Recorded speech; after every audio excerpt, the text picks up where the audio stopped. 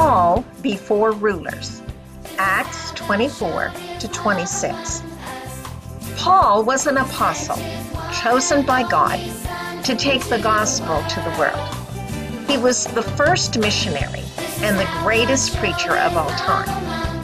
In this lesson, we will see how Paul boldly proclaimed the gospel to the Roman governors Felix and Agrippa. What does the word defend mean? Defend can mean that we resist an attack or protect someone from harm.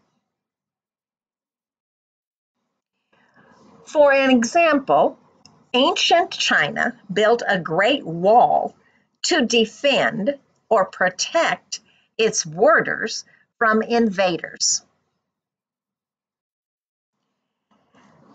Defend can also mean that we seek to justify or argue for a person or a case.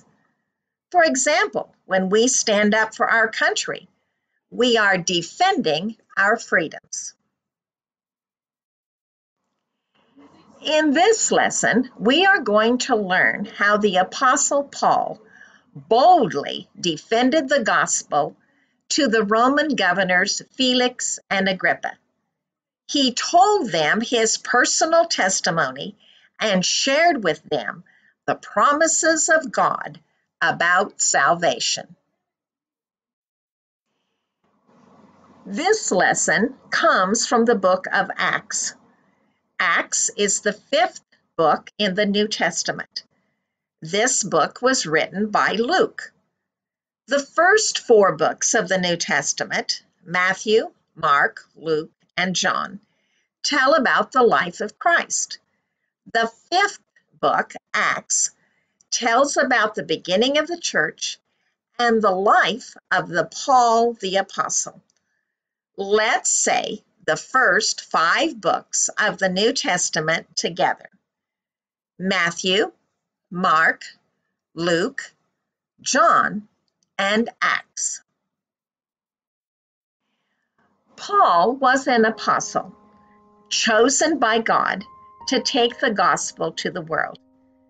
Jesus had appeared to him on the road to Damascus and revealed that he was really the Son of God. Paul believed in Jesus that day, and he was a changed man. God called Paul to be the apostle who would bring the gospel to the Gentiles and to suffer much for his name. He became the first missionary and the greatest preacher of all time. Paul made three missionary journeys to Greece and Syria. Despite much opposition, they preached the gospel and several new churches were established in Asia Minor and Macedonia. The gospel spread throughout the region, and many Gentiles believed in Jesus as their Savior. It was not easy to start churches. Some Jews who were jealous and did not believe in Jesus would stir up riots and try to stop them. Paul and his traveling companions were thrown into prison and run out of towns, but they kept on preaching about Jesus. During this time, Paul wrote several letters to the churches he had started. These letters gave instruction in how to live the Christian life and would later become part of our New Testament. They were Galatians, Romans, 1st and 2nd Corinthians, and 1st and 2nd Thessalonians. At the close of his third missionary journey, Paul told the churches that the Holy Spirit was leading him to return to Jerusalem. Paul realized that the trip was dangerous and he would not be returning to see them again.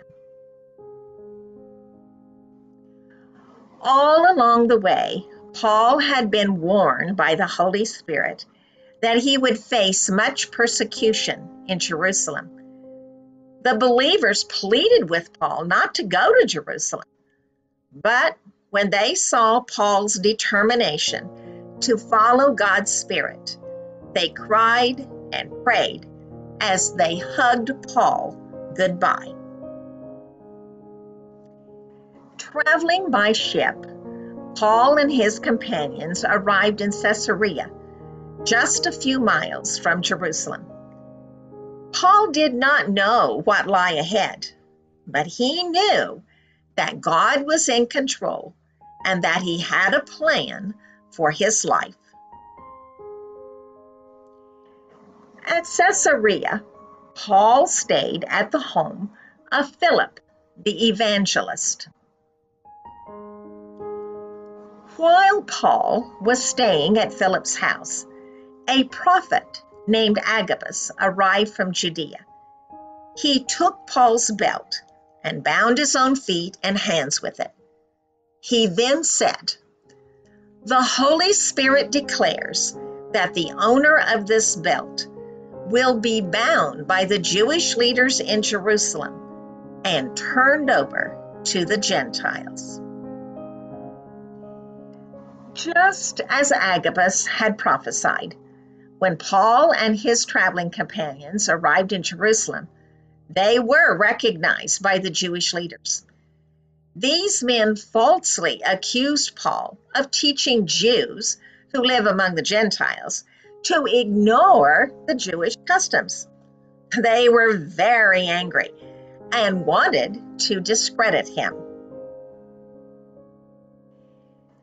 They started a mob riot that spread throughout the whole city. Paul was grabbed and dragged out of the temple. As they were trying to kill him, word reached the commander of the Roman regiment that Jerusalem was in an uproar. He immediately called out his soldiers and officers and ran down among the crowd. When the mob saw the commander and the troops coming, they stopped beating Paul. The commander arrested Paul and had him bound with two chains and ordered that he be taken to the fortress. The crowd followed behind, shouting, Kill him! Kill him! As Paul was about to be taken inside, he asked the commander if he could speak to the crowd. The commander gave permission for him to speak. Paul explained to the angry crowd that he was once a Pharisee like them and had zealously killed Christians. Then Paul told them how Jesus had appeared to him on the road to Damascus and how he had called on the name of the Lord to forgive his sins and had been baptized. But when Paul went on to say that God had sent him to bring the good news of Jesus to the Gentiles, there was an uproar the enemies of Paul did not want the Gentiles to go to heaven. They wanted the Gentiles to obey the Jewish law. Then they began to shout, Get rid of this man from the earth. He is not fit to live. The commander brought Paul inside and ordered him to be lashed with whips to make him confess his crime. But when the officer learned that Paul was a Roman citizen, he was untied immediately.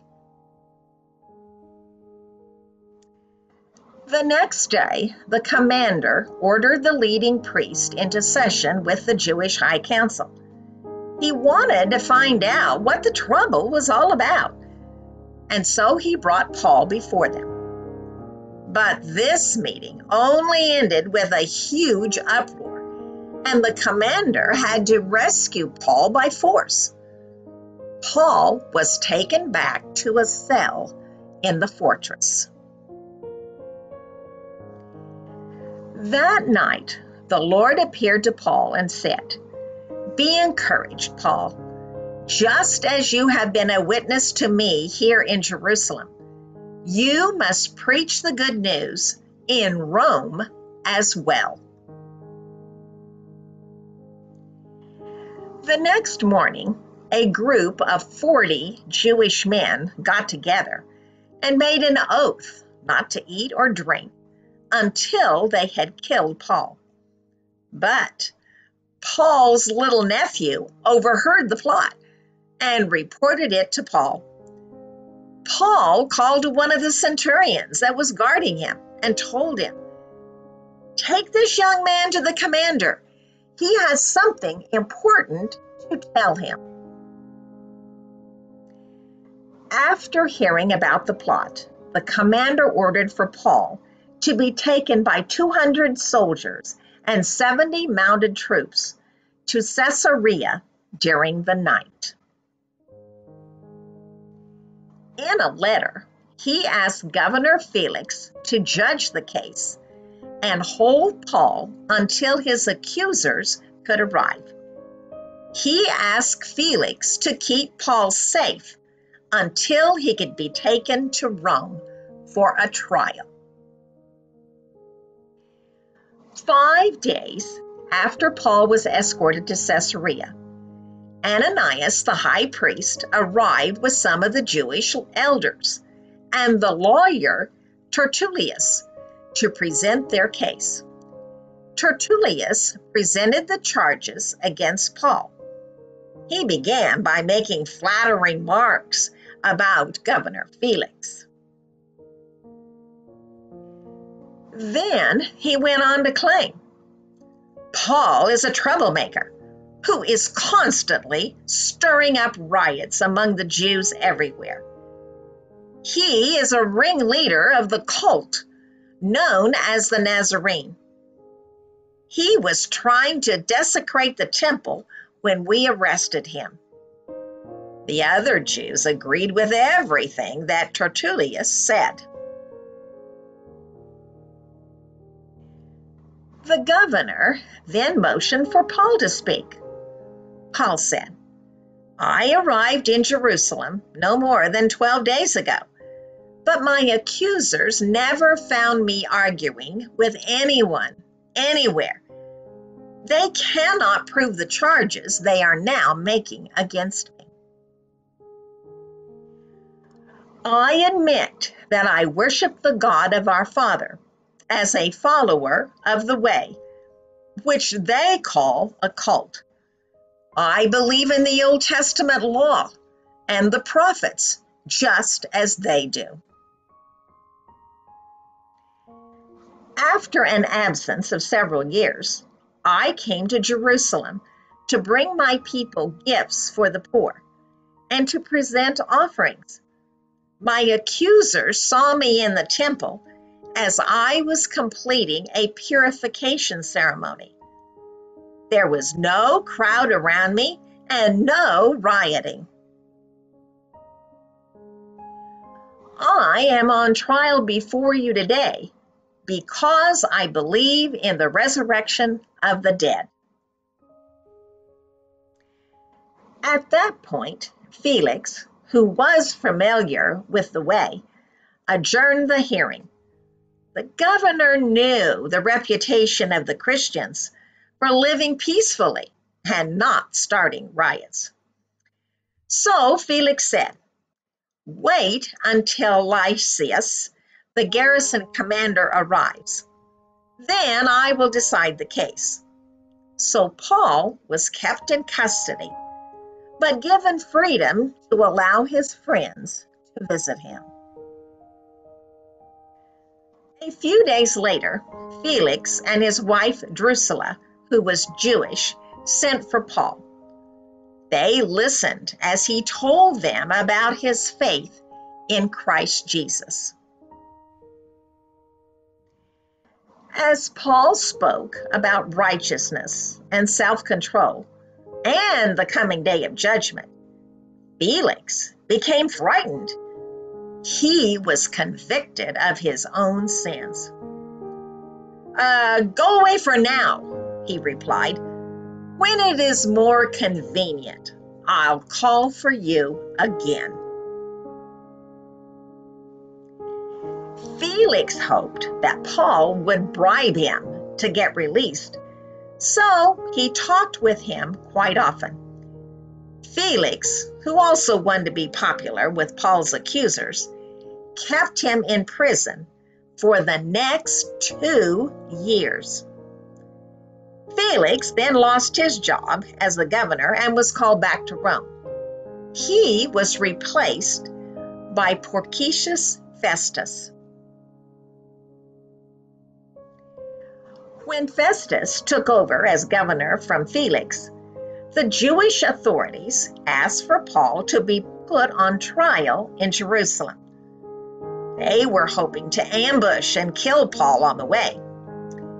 Festus instead agreed to a fresh trial in Caesarea.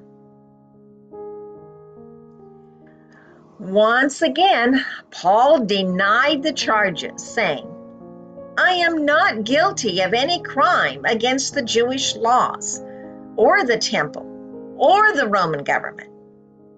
Then Festus, wanting to please the Jews, asked him, Are you willing to go to Jerusalem and stand trial before me there?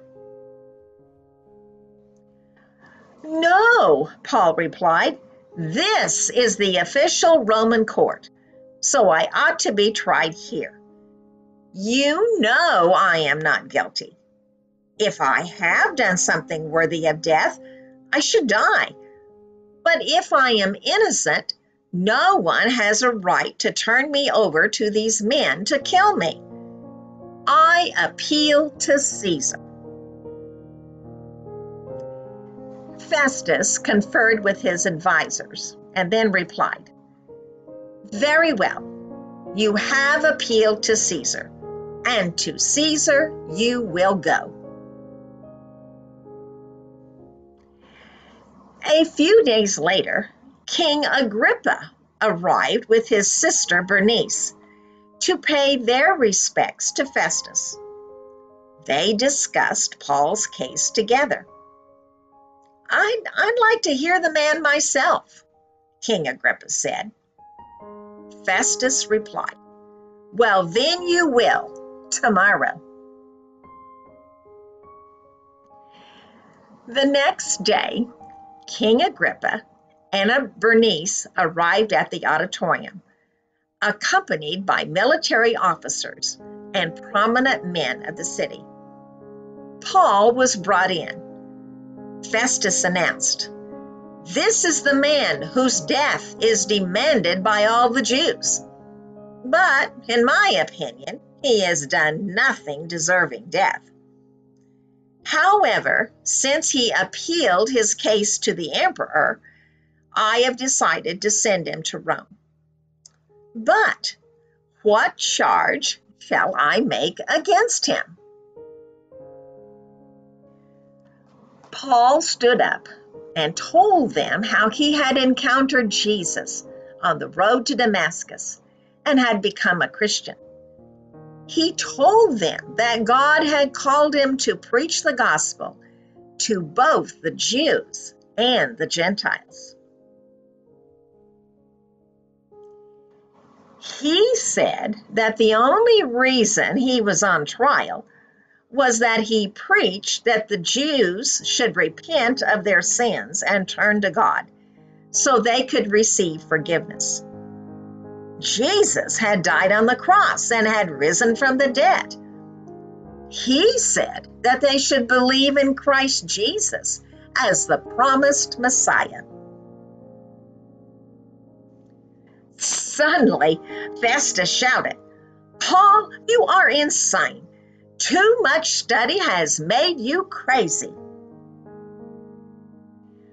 Paul replied, I am not insane. Most excellent Festus, what I am saying is the truth. King Agrippa knows about these things.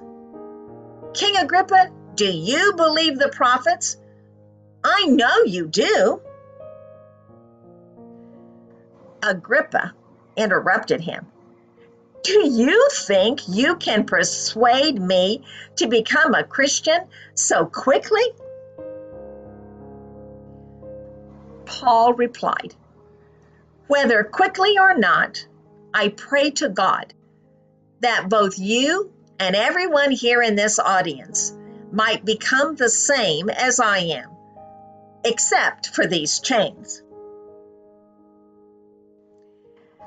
Then the king, the governor, Bernice, and all the others stood and left. As they went out, they agreed. This man hasn't done anything to deserve death or imprisonment. Agrippa said to Festus, He could have been set free if he hadn't appealed to Caesar. King Agrippa and Bernice thought that Paul was making a mistake to appeal to Caesar. But Paul did not look at it this way. God had told him that he would preach the gospel in Rome, and he saw this appeal as a way to give him this opportunity. To go to Rome as a prisoner was better than not to go there at all. In this lesson, we see that Paul was risking his own life to preach the gospel. Just as Jesus was rejected by the Jewish leaders, Paul was also receiving the same treatment by the Roman governors. Because Jesus has the power to save people from sin, Paul was willing to do whatever it took to share the gospel with everyone. When we follow Christ and obey his commands, we too may be thought to be crazy, but that should not let this response stop us. People may make fun of us like they did for Paul, but in the end, God will reward our faithfulness. It will be worth whatever we may suffer. Jesus loves us and will strengthen us during these times of trial. When Paul was defending his case before the Roman governors, he appealed to them with the facts he used examples of people who were still alive, who had heard Jesus and seen his miracles. They had seen the empty tomb and the fact that the message of salvation was turning their world upside down. These facts were an important part of Paul's testimony. The history of Jesus' life and the early church are facts that are still available for us today. We have the eyewitness accounts of Jesus' life recorded in the Bible. We can read about the events in the early church and how the early church leaders preached about Jesus. When we share the gospel with others, we need to strengthen our testimony by using scripture. In his preaching, Paul emphasized that Jesus was Christ, the Son of God, that he died on the cross for the payment of our sins, and that he rose again on the third day to prove that he had overcome death. God loves everyone, and he desires that they will be saved. As a result of his sacrifice, we are to repent of our sins and believe in him as our Savior. We are to live a life that shows our repentance through our deeds. We are to share the good news of salvation with everyone. Our memory verse is 1 Corinthians 15 3 and 4.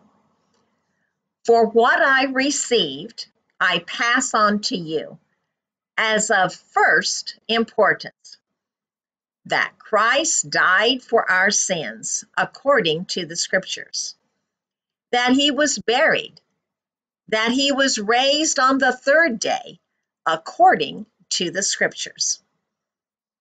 Now, in these verses, Paul was emphasizing that Christ's resurrection from the dead was a fact. That fact is evidence that we can receive the gift of eternal life. Let's say our verse again. 1 Corinthians 15 3 and 4.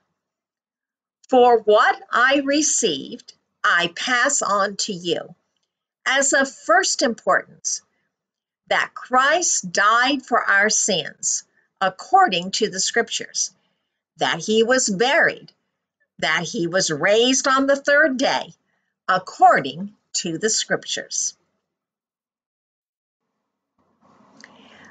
Paul's response to King Agrippa and Felix is a good example of how we should tell others about God's plan of salvation.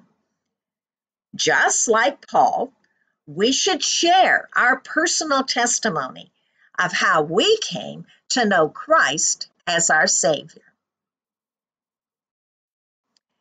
Then we should use Scripture to show God's promise of salvation to those who place their faith in Him.